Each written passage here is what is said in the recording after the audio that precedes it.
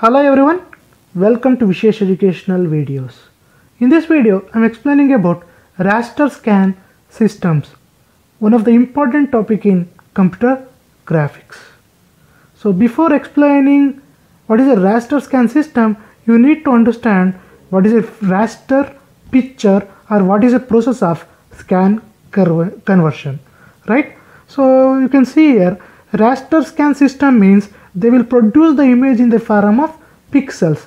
The process of producing the image in the form of pixels is known as scan conversion. So pixel is the smallest unit of the image. Here you can see this rectangular boxes, each rectangular boxes represent a pixel. So in this example, I am drawing, I am constructing an image of a character C. So to construct the image of the character C, I am going to intensify only the pixels parts that are necessary to draw this image. Here I am going to intensify only 5 pixels to draw this character C. So what I am trying to say is raster scan system they will produce the image in the form of pixels right and the process of producing the image in the form of pixels is known as scan conversion. Now I'm going to discuss how a raster scan system is going to construct any image in detail the whole process I'm going to discuss.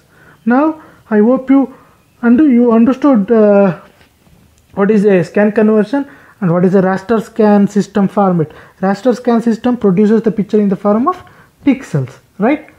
See. So, uh, if you take uh, any graphical image, that graphical image can be produced by a computer. You know that. I'm going to use a computer to produce the graphical image. If I say a computer, the main unit of the computer will be, you can see here, the main unit of the computer will be CPU, system memory, uh, your devices and a monitor.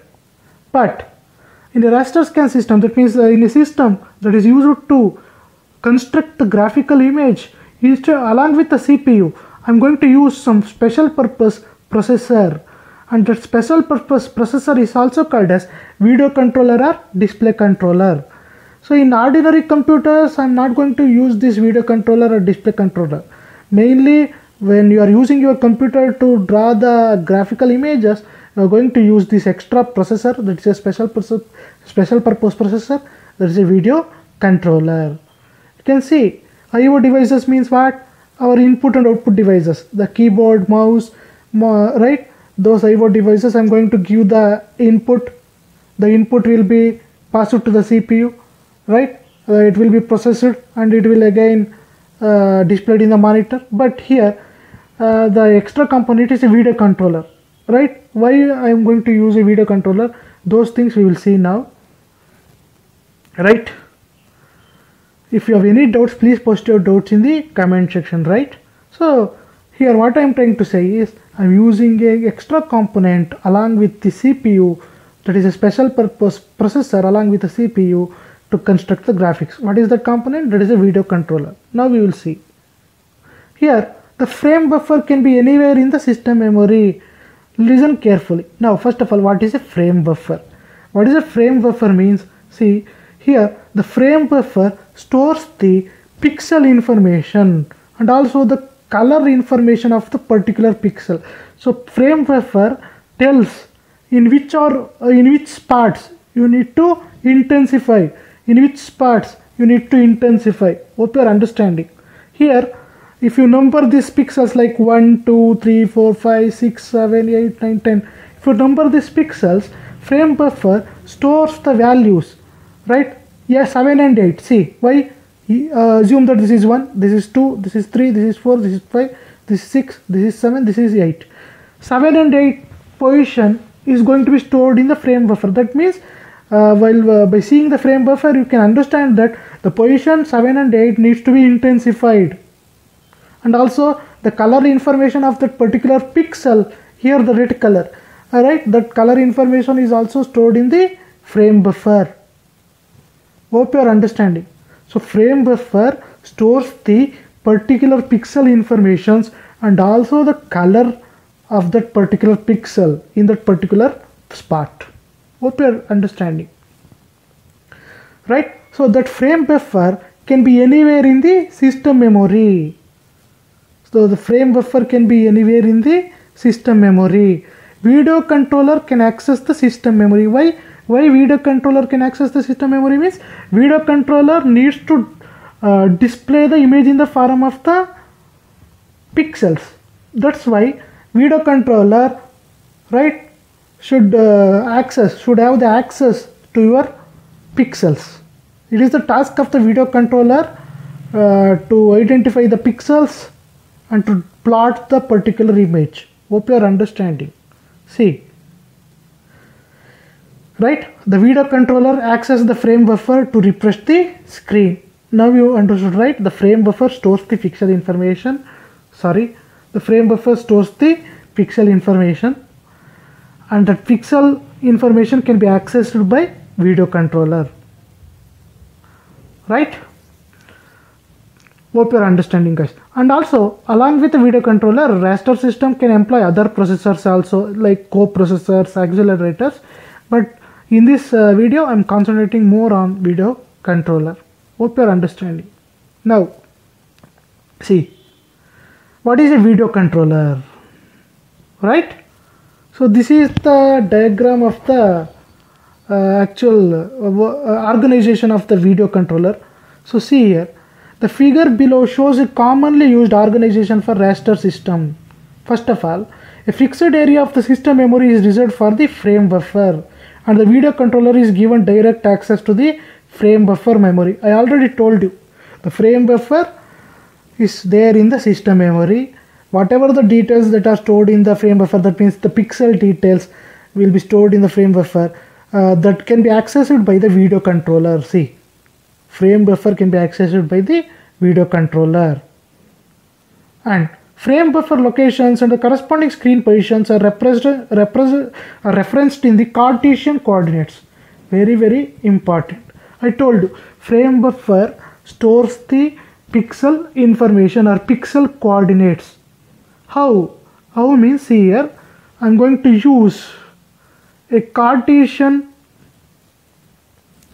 two-dimensional Cartesian reference frame with the origin at the lower part of the left screen corner. See here this is x-axis this is y-axis.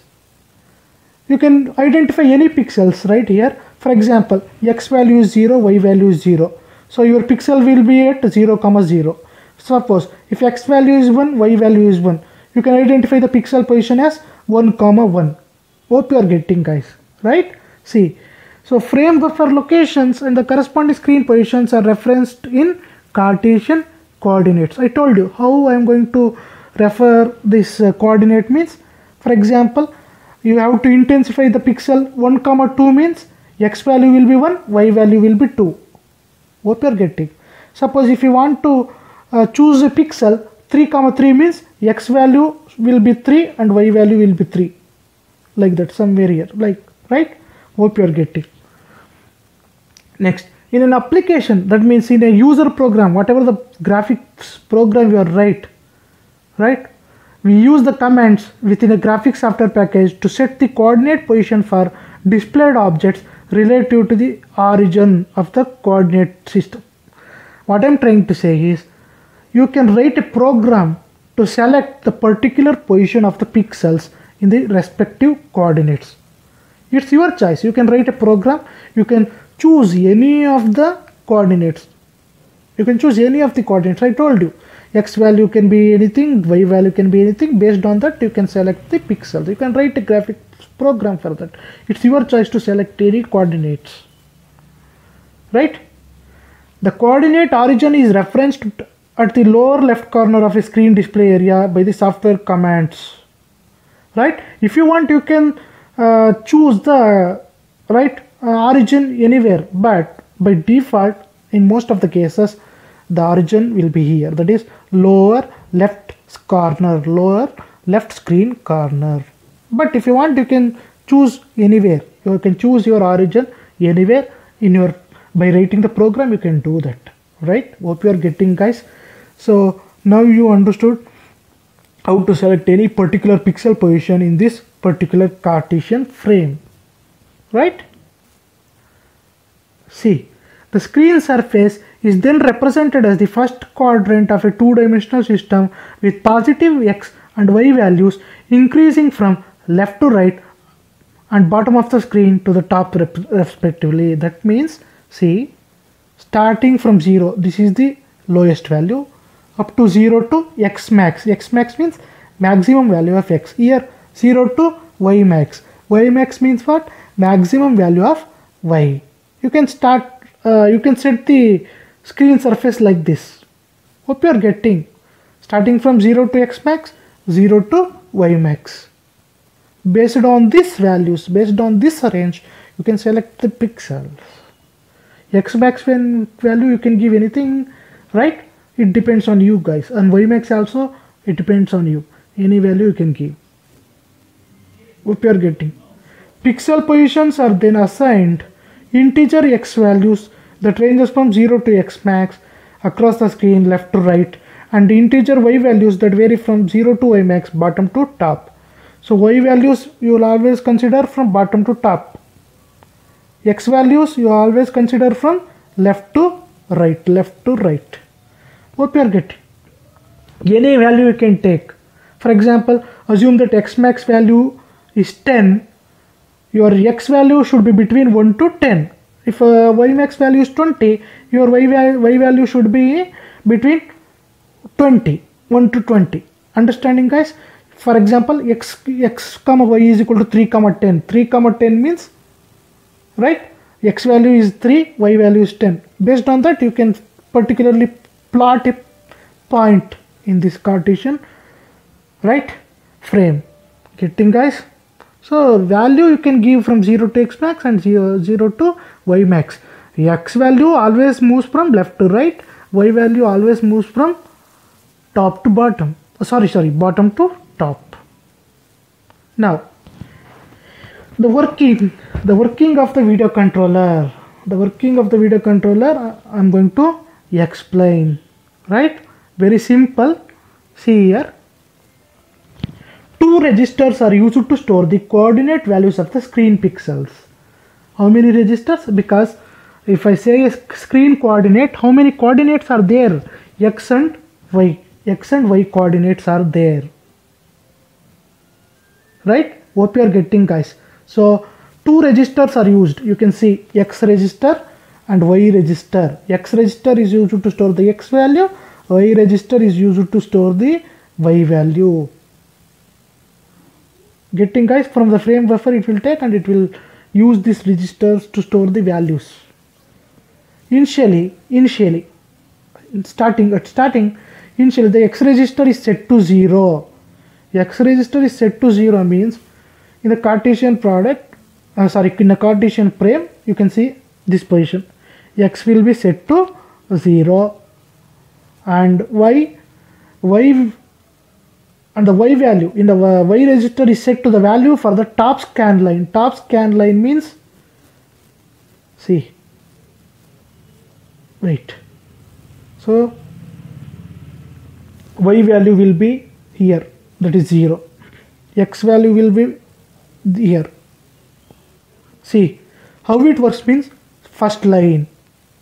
First it will take the first line. First pixel second pixel in the first line third pixel in the first line fourth pixel in the first line fifth pixel in the first line. Next it will move to the second line. First pixel in the second line second pixel in the second line third pixel in the second line fourth pixel in the second line fifth pixel in the second line. See from top to bottom it will cover all the pixels. Initially x value will set to the top line y value will be 0 hope you are understanding guys. Right? Now the contents of the frame buffer at this pixel position are then retrieved and used to set the intensity of the CRT. I already told you the particular pixel will be intensified. Intensified means you will pass the power to that particular coordinate then it will be glow it will be pixel will be glowed pixel will be glown in that particular screen position getting guys both you are understanding see I already explained. Initially the x value will be what? Uh, 1 that is the top line. Next it is incremented by 1 and the process is repeated for the next pixel on the top scan, scan line. I already explained that. That means first pixel next second pixel next third pixel of the first line fourth pixel of the first line fifth pixel of the first line next second line next third line next fourth line like that. Line by line. Uh, it will cover all the pixels from left to right direction see this procedure continues for each pixel along the top scan line. Hope you're getting. After the last pixel on the top scan line has been processed the x register is reset to 0 and y register is set to the value for the next scan line down from top down from the top of the screen. Hope you are getting. Each line will be repeated. Each line will be repeated. See don't get confused. First x value will be 0 y value will be in the tops uh, top line. See first pixel. Right next. X value will be incremented. It will come to one. Again second pixel. See third pixel fourth pixel. One line is completed. Next second line. All the pixels. Third line all the pixels. Like that the process will takes place and one more thing. Here see here these pixels won't get intensified. Only this pixel will intensify because I need to draw the character C. Only the selected pixels will be intensified. Right? Hope you are understanding guys. It's a very simple logic. Right? So after cycling through all pixels along the bottom scan line so from top to bottom it should finish all the scan line. The video controller resets the registers to the first pixel position on the top scan line and the refresh process starts over. Again the process repeats from first line first scan line. What we are getting right? If you have any doubts please post your doubts in the comment section. Now what are the advantages of video controller so why we have to use a video controller? You can ask sir. Anyway cpu was there. Uh, we can we should have given access to the cpu directly to the frame buffer. No we didn't do like that right? We frame buffer has given access for the video controller. Video controller can access the frame buffer instead of cpu why? Why we have to do like that? See what are the advantages? See here for various applications, the video controller can retrieve pixel values from different memory areas on different refresh cycles. Main imp uh, one important thing here is uh, the to reduce the load of the CPU. I'm going to give the right video controller some responsibility. Hope you're understanding. So I don't want my CPU to get overloaded. Instead of that, uh, I can use the video controller for retrieving the pixels and to plot the image in the uh, raster screen right? So this provides a fast mechanism for generating real-time animations obviously. If you use a especially to draw the real-time images, images the time the time slab will be very less right? So at that time we can use a video controller to provide a fast mechanisms because it can di directly fetch the particular value from different memory areas and different refresh cycles. And another video controller task is the transformation of block of pixels. So that screen areas can be enlarged, reduced or moved from one location to another during refresh cycles. So video controller uh, along with plotting the pixels it can reduce or it can enlarge uh, it can change the script uh, pixel sizes. It is also possible. In addition the video controller often contains a lookup table so that the pixel values in the frame buffer are used to access the lookup table that means so video controller is going to maintain the table. For example first pixel value some value. Second pixel some value along with the color information. Directly you can search any pixel you want. You can move you can select any information you want of any pixel. That is the advantage. Because table in a table contains all the pixel values right? You can select uh, any coordinate value without any problem it uh, the fast uh, it, it is a fast fast processing is possible for the uh, possible. Fast processing is possible. Right? And one more important thing uh, some systems are designed to allow the video controller to mix the frame buffer image with an input image from a television camera or other input device. That means if you want to mix some two or three images it is also possible by using a sorry by using a video controller. Yes so you can mix two or more images. One is from your mouse or a keyboard uh, one is from your video controller. The, the, you can mix the two images. Uh, one image can be from a camera or one image can be a frame buffer if you want you can mix the two images by the help of the video controller. That is also a main advantage of the video controller getting guys? So video controller is mainly used to take the pixels and plot the pixels in a Cartesian frame to draw a particular graphics image. So that's it guys. Hope you understood the concepts. Suppose if you have any doubts please post your doubts in the comment section. Thank you. Thank you for watching the video